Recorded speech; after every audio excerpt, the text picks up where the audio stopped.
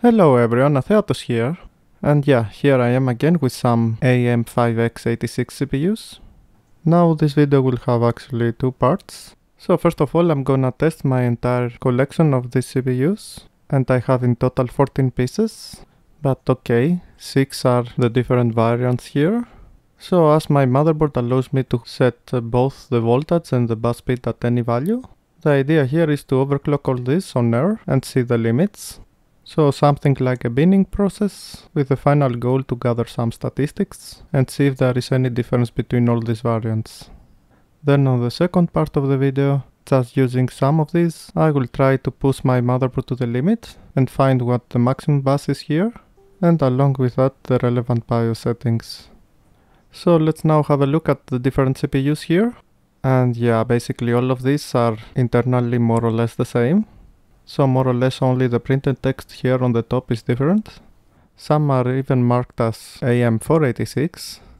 But yeah, internally all of these use the same 350 nanometer core with 16 kilobytes of level 1 cache. So now the first two ones are also the most common. The AMD VX 533ADW and ADZ. Then we have here this one with the marking DS91548. And then we go to the V16 CPUs. And first of all here, this AM486 DX5 133V16. Yeah, this time the letters are laser etched. AMD probably just changed this at some point. Now all these four are exactly the same, but the final two have a small difference. These are the AM486 DX4 and AM486 DX2, but these are not your regular DX2s and DX4s. These also have the marking 100V16 and 66V16. So yeah, these use the new core with 16 kilobytes of level 1 cache. Now in practice the only difference of these chips to the normal 5x86 chips is with a multiplier. On the 5x86 chips you have two multipliers available, the 3x and 4x, while here both of these chips can do 2x or 3x. And of course these are also the chips that in 2x mode I use to find the maximum bus speed for my motherboard.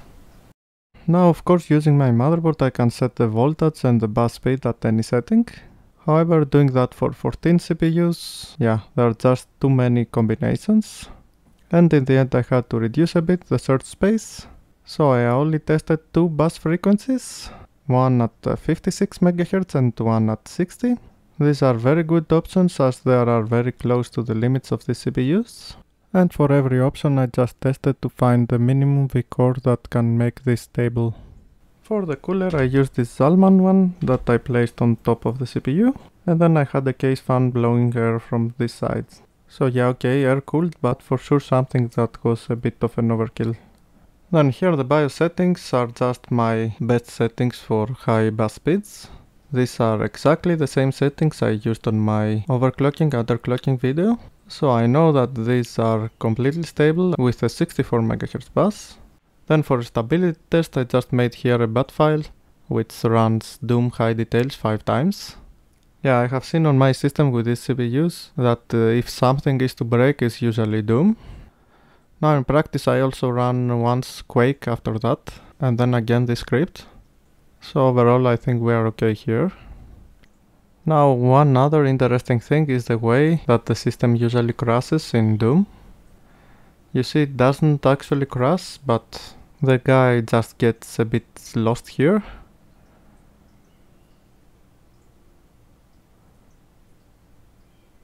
Yeah, shooting the doors and stuff like that. And overall it was an interesting experience because I was easily able to see how each CPU was stabilizing more and more as I was increasing the voltage. And yeah, again I had a lot of fun. Now here we are with the table and all the results. And yeah, as I said, we have two measurements here, both with a 3x multiplier. The first one with a 56 MHz bus and a total of 168, and the second at 180 MHz with a 60 MHz bus.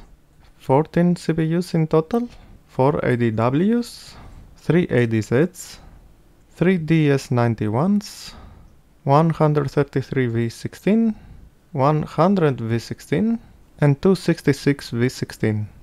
Then okay, here are the voltages that each CPU needs to achieve these speeds in a stable way. All the settings of course are from the 8 different settings that my motherboard can provide. And uh, yeah, here everything that is marked as 5 volts. It doesn't mean that I really try to run the CPU with 5 volts. It is just a marking that indicates that the CPU was not able to be stable no matter what the setting. So yeah, first of all here on the lower frequency only one CPU failed the test and that was a DS91 while on the higher frequencies 6 CPUs failed. Now let's see here a bit more in detail if I sort by this column including the one that failed there are another two that actually needed more than 4 volts. One was a 66V model and then a 100V one but then you have 8 pieces that uh, did this at the minimum setting that in my motherboard is 3.66 volts. And we can see here that we have basically CPUs from all different markings. So yeah, nothing too significant to say here. Then again, if I sort by the high frequency, the best one was a DS91 and the second one was this 66V16. Third one was an ADW and this ADW is also my best piece, the one I used on my overclocking video. Then we have one more, the 133V16, that is pretty close. But after that, uh, yeah, there are four more that I had to push the voltage to the limit to get any stability. Some ADZs, some ADWs, and finally six failed chips that are of all different types. So what can we say here? I mean, uh, the best and the worst one was of the same type, as well the second best and the third worst. So yeah, for sure, this confirms that the marking does not play any role here, and it is all in the silicon lottery. By the way, after all these measurements, I tried again the three top performers here with the Peltier element at the 64 MHz bus, that is my record. For sure this one can do that, uh, it is on my video. Then uh, this one the DX266 was also be able to run stable at this setting, but I had to push the voltage significantly higher, something like 4.12, while my previous chip was here. Now if you think about this, this is totally crazy because 192 divided by 66, it's yeah, 2.9. So a 290% overclock? Something absolutely ridiculous.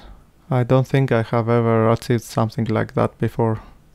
Now the other one uh, that was also the top performer here actually failed to run with a 64 MHz bus. And this one was also very interesting because okay at uh, 3.66 it was unstable. It was a little bit better with the two other settings. But then here it started uh, crashing on Doom and on 4 volts it wasn't even posting. So this piece here actually just does not like higher voltages yeah, things like that can happen. So that is all the discussion here. I have to note again that the DX2s and DX4s on the same frequency and same setting they performed exactly the same. And it is a matter of uh, what type of multipliers you want to play with.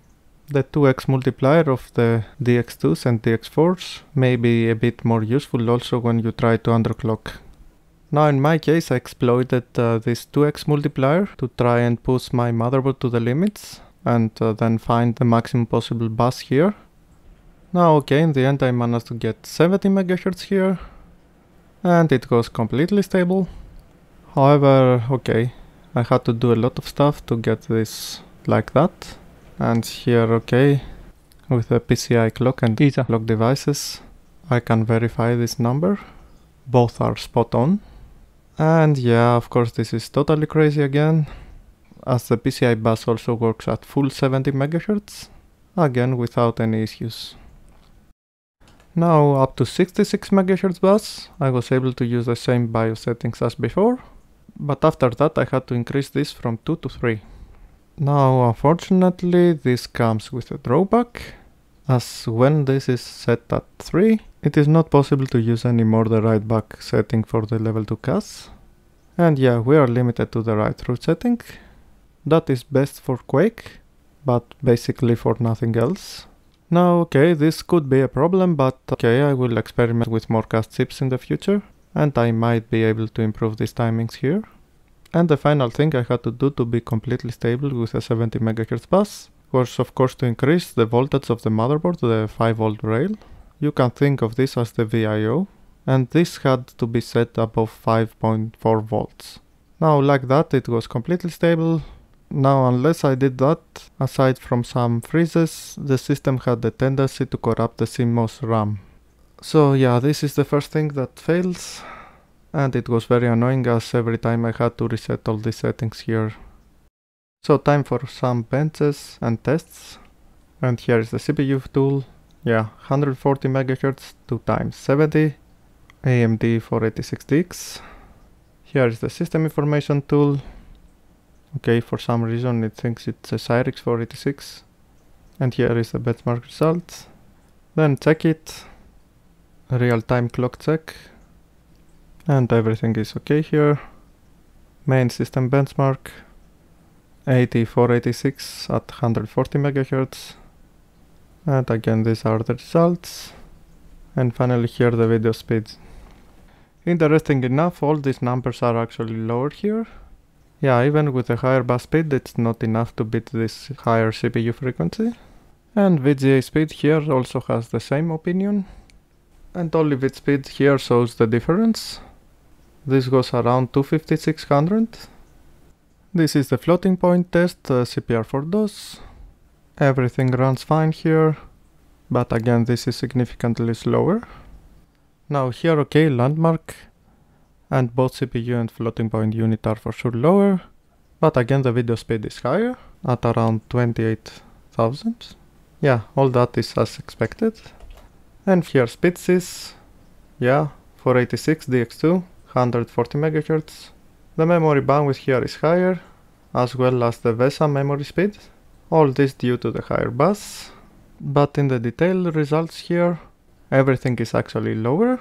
Well, okay, level 1 cache for sure, because this runs on the CPU frequency.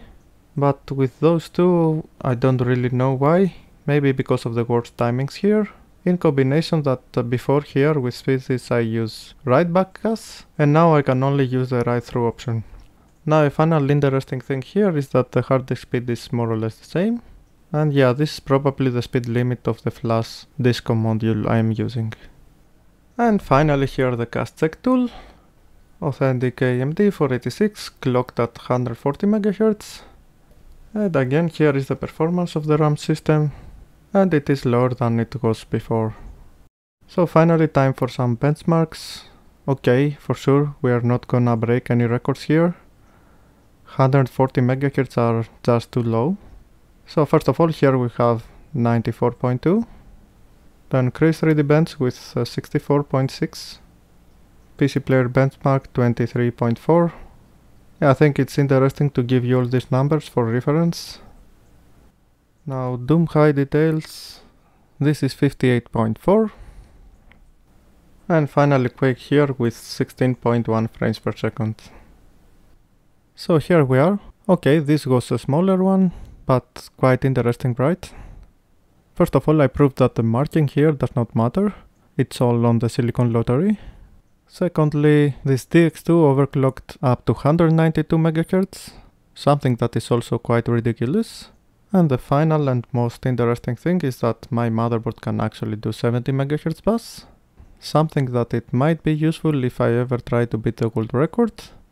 But okay, in order to do so I need to find a CPU that can handle 210 MHz, so 3 times 70 and I don't know I mean even after 14 pieces the max I could do was 192 I don't know if I was extremely unlucky or maybe finding something that can do even 200 is actually quite rare. And at this point I'm not willing to try to break the world record just by using luck and money however I have some other plans that you will see in the future so as usual you know what to do like, comment and subscribe so that you don't lose all that. I hope you like this one and yeah, see you again next time.